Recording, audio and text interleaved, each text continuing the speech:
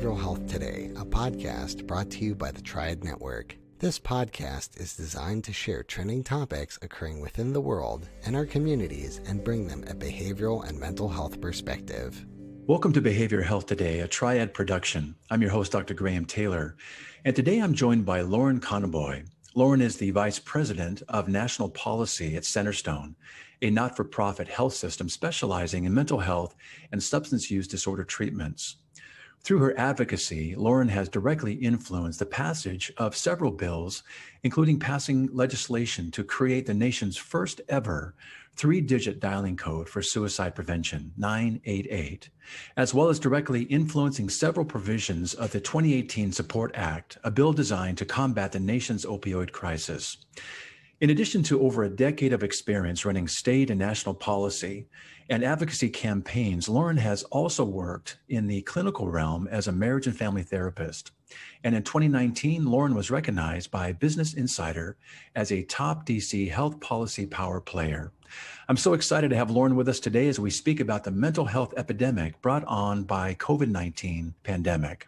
Lauren, welcome to our show. Thank you. It's wonderful to be here. Nice to have you. You know, Lauren, as we come into this whole topic of mental health epidemic being experienced within our nation and the impact of COVID 19, I'm aware that, you know, we've become a society that easily and sometimes ignorantly and carelessly throw around terms, often without fully understanding their meaning and their implication. So, as we come into today's topic, could you start us out by grounding us in a clear understanding of what's occurring currently with the mental health of our nation being at such a level that is considered an epidemic? Yeah, great question and great way to frame that up. So, to start with the definition of an epidemic, an epidemic refers to an increase in one that is typically sudden in the number of cases of a disease mm-hmm. above what is normally expected in that population. Given that context, I do believe we're moving in that direction. Yeah. For example, the CDC estimated that an average of nearly 250 Americans died from overdoses every day in the 12 months leading up to September 2020. That's almost a 30% increase from the previous year. Yeah. Sadly, more Americans lost their lives to an overdose in that time frame than at any other time in history. Man. When we look at mental health specifically, a CDC report from last August found that one in four young adults, young adults, which was surprising to me, mm-hmm. had recently contemplated suicide. So, to me, as a former therapist and now someone who evaluates behavioral health policy, mm-hmm. there's little question that we're in the midst of an emerging mental health epidemic. Yeah. Yeah. And that has been largely fueled by the COVID 19 pandemic. Yeah. Uh, you know, you mentioned overdose and suicide ideation in these stats, and not to mention eight in 10 adults saying that the COVID uh, virus pandemic is a significant source of stress in their life. Give us a sense of how the pandemic has impacted various demographics and age groups. And, and tell me, are, are there some groups that you're finding that are more at risk than others? Good question. So something I think that has been surprising, um, surprising and not surprising is, is the impact on children. So yeah. during the pandemic, children's emergency room visits related to mental health have spiked dramatically, up 24% for children 5 to 11 years old and 31% for teenagers 12 to 17 years old. Mm. So this affirms something we already suspected. Children have been really struggling this past year. However, in terms of demographics, this population was primarily white and had commercial insurance.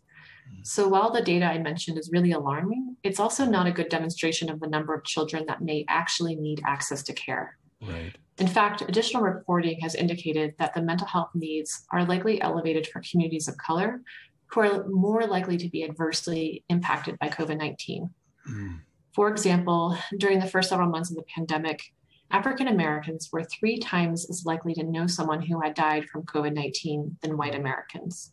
All in all, while almost everyone has experienced some level of trauma this year, communities of color were at elevated risk and had less access to services than other populations. Fortunately, the COVID relief packages passed by Congress have provided additional resources for housing, food security, as well as additional funding for state Medicaid programs to expand access to mental health and addiction treatment. Yeah. However, more still needs to be done. Yeah, I can I can see that as well. I see that in my state also with some of the the money is being received and and used, but there's a, a, a terrific need. You know, uh, shifting just uh, a little bit more kind of within and, and, personally, and as a mental health practitioner yourself, we had a, a, guy, Dr. Steve Taylor, on our show. He's a clinical psychologist and professor at the University of British Columbia, Canada, on a podcast in the early stages of the pandemic. He's a kind of an expert in the pandemics. And we talked about how two of our greatest fears uh, are the fear of the unknown and the fear of feeling out of control and not having control, mm-hmm. and how being without the level of the relational contact that we're used to and dependent upon, we've seen the impact of isolation and loneliness with a whole new appreciation for sure. So, in terms of the isolation and the secondary loneliness that accompanies this uh, as an inherent part of the pandemic, what are you seeing being the impact on our psychology, both kind of at a community level, but also at a personal level as well? Yeah, and some of the issues you just identified are so critical for us mm. the ability to have control and, and kind of yeah. know what's coming. And and as humans, we're also very hardwired for connection to support our emotional well-being and health. And to bring this to light, there's two examples that come to mind. The first is mirror neurons. And so, mm-hmm. in the simplest form, that's when we observe another individual performing an act or exhibiting a particular emotion, let's say love or affection. It's fairly common for the neurons in our own brains to replicate similar feelings. Yep. In the instance of the global pandemic, most of us have been isolated. We were watching terrifying news headlines unfold before us. It was a constant stream of the pandemic, social injustice and unrest, and an insurrection on top of that. We watched all of these traumatic events in isolation. We didn't have the healing and connection that comes from being in community. You know, that's so important. I just want to kind of jump in on that. You know, we sometimes as, as practitioners refer to that as kind of vicarious trauma or secondary trauma, don't we? Where we're not actually there. We saw this really most clearly with 9 11, where we had to tell people to turn off their televisions because they were having sleep disturbances, irritability, all these things just simply from watching. And that's what you're talking about right now, isn't it? That this secondary trauma, this vicarious trauma is really real. And people were going through that, weren't they? That's exactly right. That's exactly right.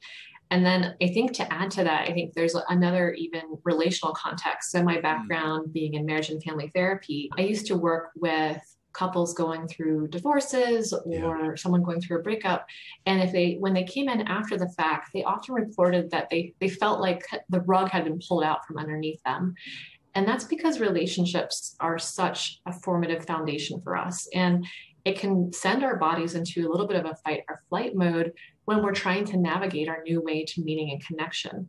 And so I think all these things we were just talking about, you know, that inability to control what's happening, watching these things unfold, the secondary trauma, all of that you know, kind of wrapped into this 24 7 stream right. of things that were happening, just kept, you know, many of us in the state where we had some level of feeling anxious, sad, or angry, or all of the above. Yeah, I, I, would agree. I think those were some of the feelings that we we had never been exposed to before, to the degree that we were. And I think what one of the things we appreciated was just how important relationships are to us you know, in our lives and how stabilizing and grounding they are and how dependent we are on them. And maybe not until they were kind of removed or the mandated isolation or quarantines brought that to light. You know, we're talking right now and you're drawing attention to the idea of the relational piece, but we also had to make some adjustments, some significant adjustments to our work environments. Talk about how we get to or need to still maintain some good mental health to address the inherent job burnout that many are experiencing? Yeah. So, so that burnout from this year and all the complicating factors that played in can show up in a lot of ways. It can show up in our jobs, our relationships, and in our own mental and physical health. Thanks to science and all the mm-hmm. incredible work there, there's vaccines available for those 12 and up, and we're seeing a lot of the restrictions we've had this past year be lifted. And so it's really important we find ways to start decompressing. Yes. That could be something as extravagant as going on a vacation, and, and many of us deferred vacations this year, and so that's well deserved and well timed. But it could be also something as simple as walking in the park a few times a week with family and friends overall, after these past 14 months, we really have to train our brain that it doesn't need to be vigilant and on alert all the time, and really, really emphasize ways to relax and unwind and to start to really decompress this past year. Yeah. Let's let's let's let's kind of piggyback on that just for a second. You're talking about the the importance of decompressing, but also you're talking about we need to be also intentional in processing this past year. Are, are there some things that you've observed folks doing, or maybe even as a mental health practitioner, you've encouraged folks to consider doing? Maybe even maybe some things maybe you've done this year that's helped you process through the things that we've had to go through. Yeah, you know, for this year, I can give just a, a, brief personal example. On March 22nd, my husband and I welcomed our first child, Ava, and we came home from the hospital just as our the state that we live in, Colorado, was uh. issuing the shutdown orders of you know everything was shut down. Mm-hmm. And and on one hand, when I look back at the past year, I feel a sense of grief for the lost time with friends and family, especially when she was a newborn. But I also feel a very immense sense of gratefulness that we didn't have to travel for our jobs. Both of us before this had to travel a lot. Mm. And so the fact that we were able to be home with her is really our silver lining. Yeah. And I think a lot of us have this. We have something that we're grieving and something that we're, we're grateful for. It can make processing this a little bit more complicated. But I also want to recognize that not everyone had silver linings. For some, it's just been a really difficult year. Mm-hmm. In terms of processing this year, you know, it's our often our default to push past the grief and focus on moving forward or the silver lining and say, I'm good. And, and that's kind of our default as a society. And from my experience, personally and professionally, I believe it can be helpful to hold and understand some of that grief and mm-hmm. process it. Mm-hmm. And so I would say for anyone that wanted to explore this, I would suggest carving out some time to journal, meditate, go on a walk, and think about this but really think about what was lost and hold on to that and feel through those emotions and not try to push past them right away. But what was lost? What was gained? And importantly, what was learned this past mm-hmm. year? Mm-hmm. While it can be very helpful to recognize the hurt and really, really hold on to that, yeah. it's also really useful to ask yourself how am I going to use these lessons from this past year to build a healthier life for myself or for my family? Mm-hmm reflection and visioning for the future can be a really healthy process to understand and work through difficult emotions and even come out on the other end a little stronger and healthier. So, that being said, I think for those that have had truly acute loss this past year, the process can take longer and be a little bit more complicated. But fortunately, as we know from our field, recovery, healing, and resilience is possible.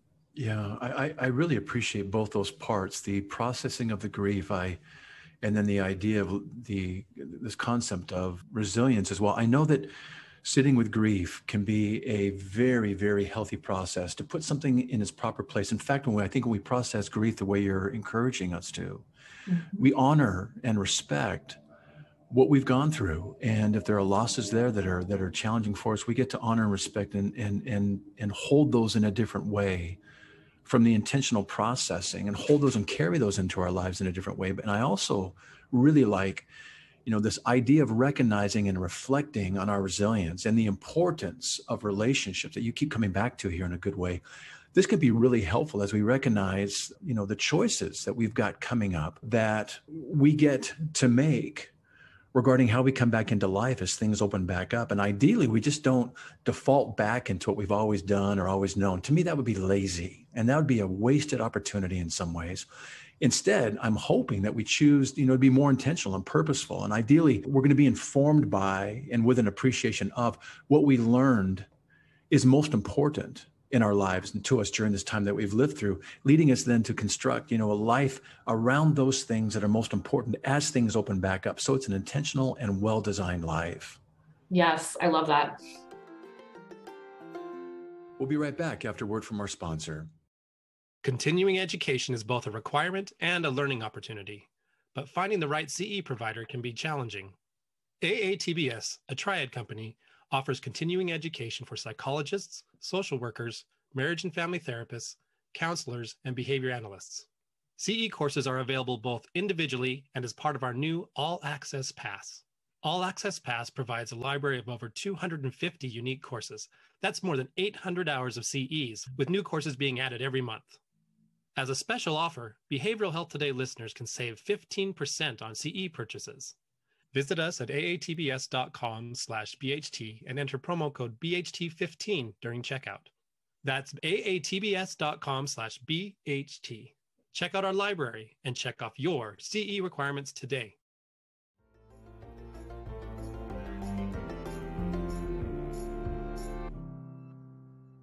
Yeah.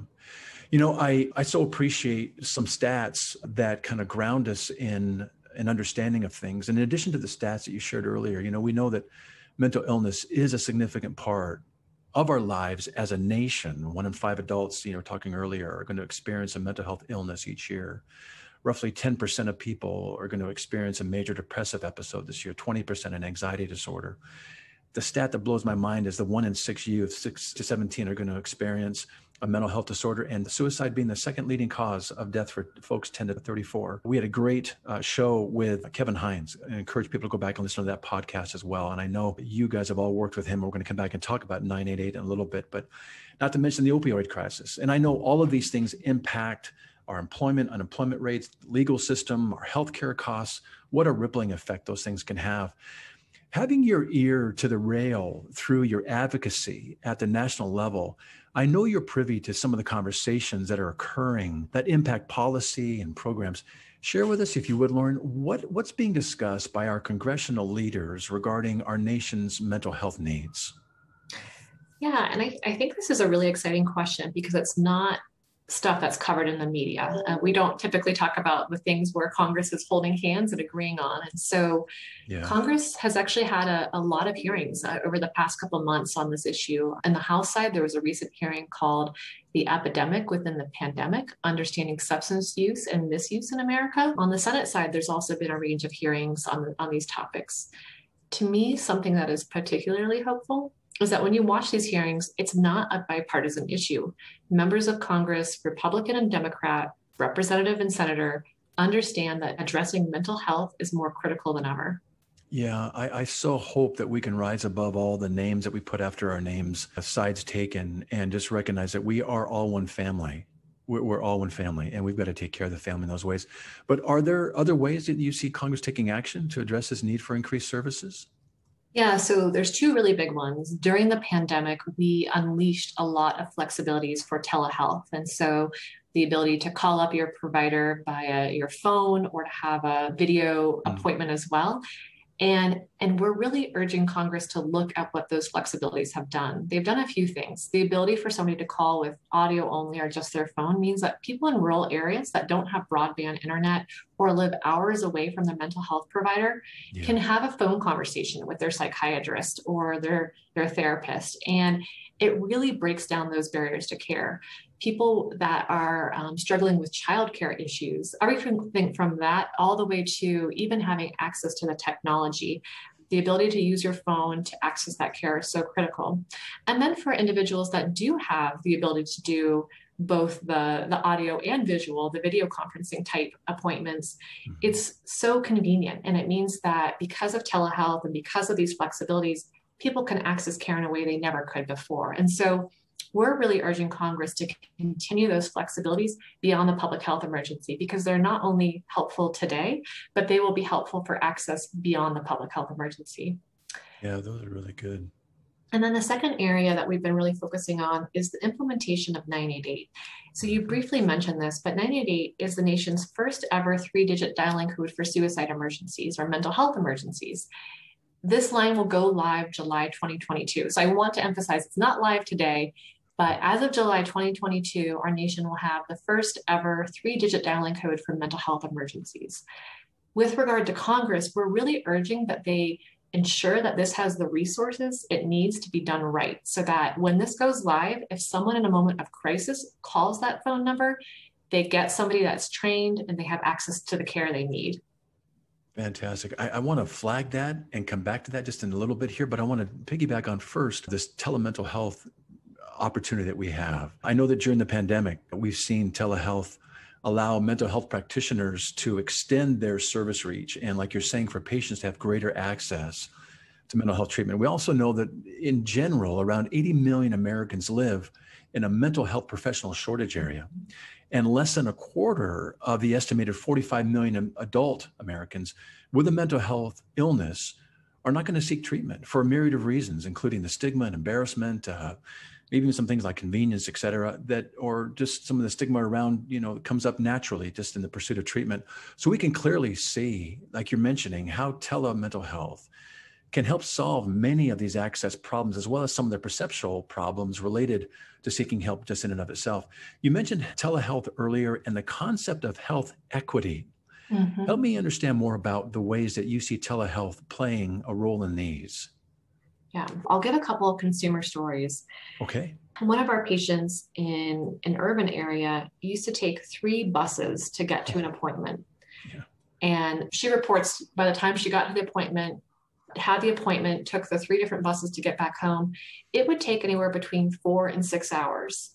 Yeah. Now, if you imagine somebody that would have to go in once a week or twice a week for those services, but is also trying to be a parent, trying to have a full time job, mm-hmm doing that kind of work to take care of yourself is just not possible for so many. Yeah. We've heard the same story from patients in rural areas that have had a two hour uh, one way trip, so four hours in total driving to get to their provider. And again, you think about somebody trying to work a full time job and juggle everything else. That is, it's a it's a huge barrier to access. Yes, and is, so yeah. when you remove that, you're really kind of leveling the playing field so that more people have access to this care and that it's not only for the people that can have the time to do that, that people that can even find 50 minutes in their day to do a video appointment or a phone appointment can then access care. And that can be a game changer for a lot of people. Yes. Yeah. That's a great story. That's and, and it, and that's real life and that's helping us appreciate really the impact of telemental health coming in in such a, an, an, effective way.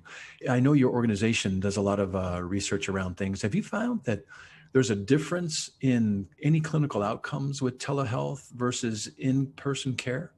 Yeah, so at Centerstone, we're fortunate in that we have a research institute and mm-hmm. analytics staff. And so we're able to look at the care we're delivering and, and assess our outcomes. But I'll first start by mentioning that on the whole, nationwide, providers around the nation have seen a significant reduction in no show rates with telehealth, especially for substance use disorder treatment services.